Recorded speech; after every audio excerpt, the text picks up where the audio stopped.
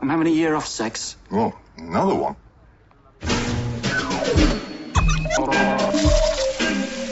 Stephen's life is going nowhere. But his best friend Bunny is about to change all that. Come on, man. Let's go on holiday.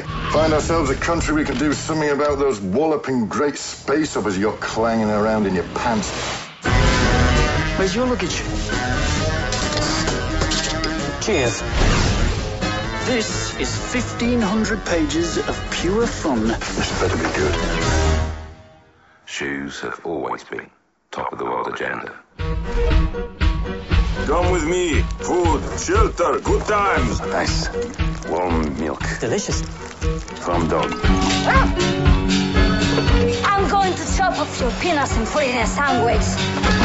So, do you go out after work? Are you going to go to a bar or anything?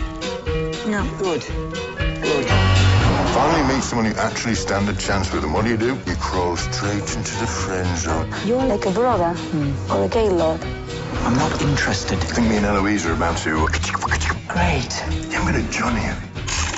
I don't want to take the piss here, but um. It's brilliant. Where do you see this thing with Bunny going? I don't think Bonnie's the sort of person you really make plans What with. have you been drinking? When